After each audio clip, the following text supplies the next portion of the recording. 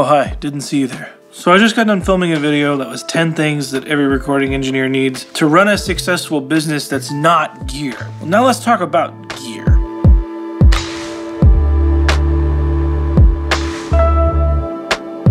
So, what do you actually need if you want to get started? I narrowed it down to 10 things, and these aren't super specific, but these are 10 areas that you're gonna need to think about if you want to create a recording studio in your house or even upscale all of this to like a full fledged recording studio, just like what I run. First and foremost, unless you're a completely analog studio, in which case this is a totally different conversation, you're gonna need a computer. Basically, the conversation starts here. Do you go with a tape machine or a computer? Obviously, there's hybrid setups anywhere in between, but most of the time, if we're talking home recording studios, entry level professional spaces, a tape machine is not going to come into play right off the bat. So you're going to need a computer. I think we get caught up in the details of what you actually need in a computer a little too much. I used to worry so much about the machine itself. Honestly, we're doing audio. We don't have to worry so much. Like the stuff we're doing is lightweight.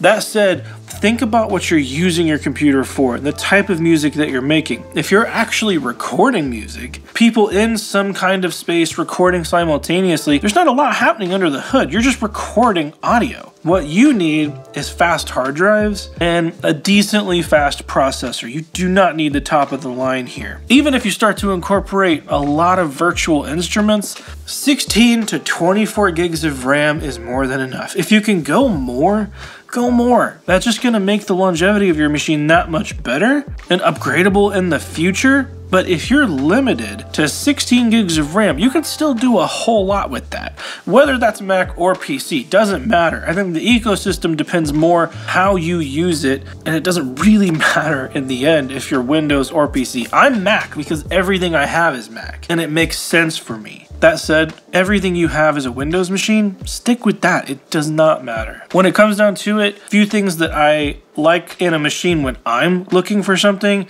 a decently fast processor. It doesn't have to be the top of the line.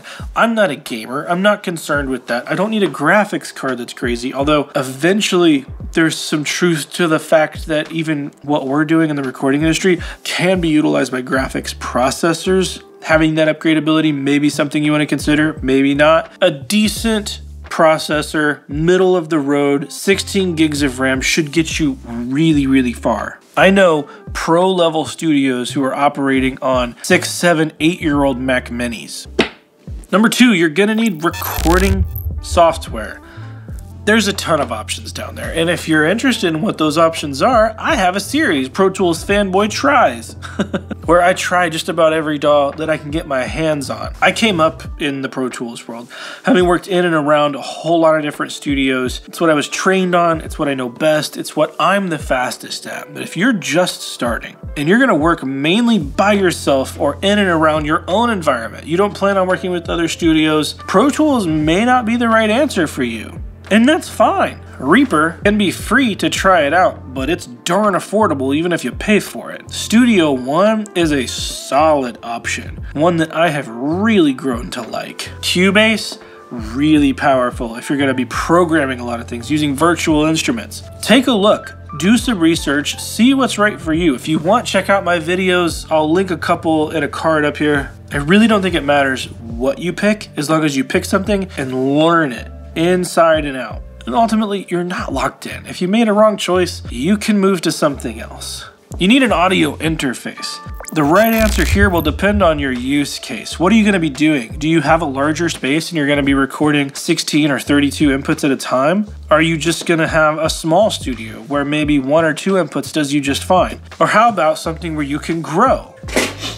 I've got a couple small interfaces here the Focusrite Vocaster is actually a crazy powerful little unit, although it catches dust like nobody's business. If you're doing a couple different things, but it's mainly vocal centric, this thing sounds pretty good and has the added benefit of being able to use it as like a streaming platform. Onboard DSP, onboard effects, it's kind of dumbed down. You don't need a whole lot of knowledge to get up and running with something like this, and there's functionality built in. On the flip side of it, you have something like the Universal Audio stuff. A little bit more expensive, a little bit more under the hood, a little more to know. Obviously, there's a whole lot of options in the affordable interface category. A few questions you need to ask yourself what are you going to be using this for? How many inputs do you need? Do you need monitor outputs? Do you need the box to also be able to control your monitors? Do you need a talkback? This does all of that. This does not. You can kind of get around it. A box like this also has the added benefit of having optical in. So now the two XLRs that you had before all of a sudden can turn into 10 and now you can record drum sets. Things to think about. Number four is microphones. You're gonna need something to actually capture audio. If you exist wholly in the digital world, and you don't need one. But I imagine at some point as a recording studio, you're gonna need a microphone for something. The first nice mic I ever bought was this Miktek CV4. This thing bats way above its weight class as far as tube condensers goes. Other popular options are the Shure SM7B. It's basically a household name at this point. Shure SM57, which you can surprisingly do a whole lot with, and was actually the very first video I posted to YouTube years ago. If you want to see how bad my filmmaking skills were back then, go check that out. There's a lot you can do even with the cheapest of microphones. That said, if you want to get into like the pro level of doing things, you need to spend at least a few hundred dollars to get there. That's not to say that records haven't been made with really, really cheap mics. But as far as longevity goes, build quality, knowing that thing's gonna stick around for a while and be like a decent investment, you're probably looking at the two, three hundred dollar mark at a minimum have a decent mic to record vocals or voiceovers or whatever that might be. The SM7, as cliche as it is, is a good workhorse mic. It can do vocals, it can do acoustic guitar and sound fantastic. It can be a snare mic. There's not a lot you can put it on that that thing does not sound good, but it is really, really low output, and that's where your choice of interface really comes into play and how much gain you can feed it. See, all these things are related. Number five is a good set of headphones, whether that's for you to mix on or for your clients to wear during tracking. Obviously, those two different use cases can yield two different results when you're looking at what to get. I'll link down below a couple of my favorite sets of headphones. One specifically for recording. It's hard to beat the Audio Technica ATH50Xs. I think that's the mark. I haven't almost haven't memorized. Or the Sony 75. Both cheap options that you could absolutely mix on. Are they the greatest sounding headphones? No, but that's not the point. You want something honest that you can get used to, that's repeatable. Because if something happens to your headphones, you want to be able to replace them and have it be pretty close to what you knew before. As far as tracking headphones, I love the direct sound stuff, the super isolating headphones. You don't have to worry about click bleed with something like this that can really be the bane of your existence when you get down to actually doing work.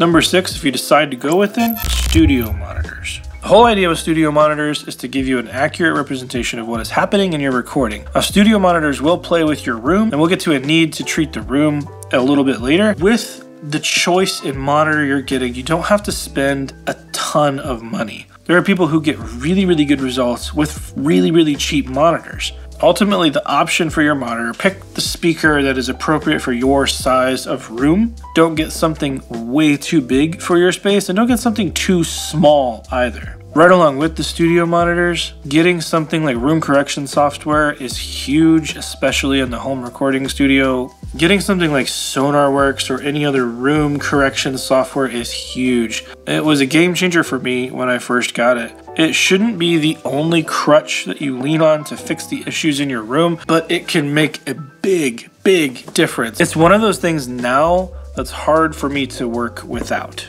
And I wish I would have done it from day one. Number seven, cables. You're gonna need a lot of cables. Even when you think you have the simplest of simple setups, you're gonna need a lot of cables. Do you need to go out and buy the most expensive cable that you have ever found? Absolutely not. You can get a lot done with a very, very cheap cable, whether that's a guitar cable, an XLR, a speaker cable. What I will say there's a whole lot of tests about audio quality and buying a super expensive cable versus an Amazon Basics or something like that. And feel free to check out those videos. But I think the one thing that we don't talk about nearly enough is the reason you would buy an expensive cable is because of its build quality. That said, you can make just about anything work, but here's the question. How many times are you gonna set it up? How many times are you gonna wrap that cable? Is it built well enough to withstand the use of an everyday studio? That's where I would spend the money getting something that may not be the best of the best, but it's definitely not the cheapest, but you know it's not gonna fall apart the first few times you use it. Studio furniture. You need something to put your gear on, and that could be the very, very simplest form of a desk. I use a rolling desk and have everything basically in a rack that I made myself, and that's the hub for my studio. I'm kind of using like a glorified nurse's station that wheels around the room, but I love it. It's a sit stand desk, everything else stays where it needs to stay, and I just move my keyboard and mouse up and down essentially. It's fantastic. I'll link that below if you're at all interested. Kind of makes the whole setup a whole lot easier. That said, there's a lot of really good options for furniture. Output. If you're not into DIYing and you can't build yourself, Output makes really cool studio furniture that serves a purpose and is really affordable at the same time. And none of this is sponsored, by the way. None of it. Next thing you're gonna need is acoustic treatment. If you're in a room, in a home, chances are that home sounds like trash. Sorry, it's just kind of the way it is. Normally, rooms are built very symmetrically in homes or residential spaces in general. The ceilings are really, really low and really, really reflective. You may have carpet, you may have hardwood. The main thing to think about, and you don't have to spend an absolute ton of money here. If you just want to get some work done, Focus on your point of first reflections. Easiest way you can do this is to hold up a mirror along the wall. And when you can sit in your listening position and move that mirror along the wall and you see your speaker, that's your point of first reflection. Put a sound trap there. It could be something as easy as going to your closest Lowe's or Home Depot if you're in the States and getting some Roxul or Rockwool, whatever it's called where you are, some safe and sound insulation and making your own traps out of that and wrapping fabric around it. There's a whole lot of options where if you're even the slightest bit handy, you can get this done on a budget. The one thing I will say, do not go and buy the egg crate stuff. It doesn't work. It may dissipate some high frequency stuff, but when it gets to the low frequency energy, you're, you're not doing a thing. I'm sorry. It doesn't work. And oftentimes it's more expensive than the stuff that actually does work. Number 10, the last thing you're gonna need is instruments and other tools to do your job. Are you someone who works with bands? Would it make your job easier to have a house kit there that you know sounds good? For me, it was huge. It's like that first bit of quality control that you know they're gonna at least sound this good. If you can control a certain number of variables, it's so much easier for you down the line. I keep guitars, I keep amps, guitar cabs, pianos, keyboards. I have a lot of stuff. You may not need that, but think about the things in the niche that you're trying to work within what do those people need as tools and what might you be able to provide that's not crazy expensive, but something easy that you can control the quality of so that you know your tracks aren't going to be hindered by this one tool. All right, guys, I didn't want to get too specific with each one of these recommendations, but I will put some of my recommendations in the description below if you're curious what those might be. If you want to check out all the gear I use, I'm going to have that in the description down below. If you like this one, hit that like button, hit subscribe if you like what we're doing here. If you want, check out the Patreon, where I have a lot of behind the scenes stuff, and we're actually going to be starting to send you guys session stems so you can practice mixing. I'm Resident Loser Jeremy. I'll see you in the next one.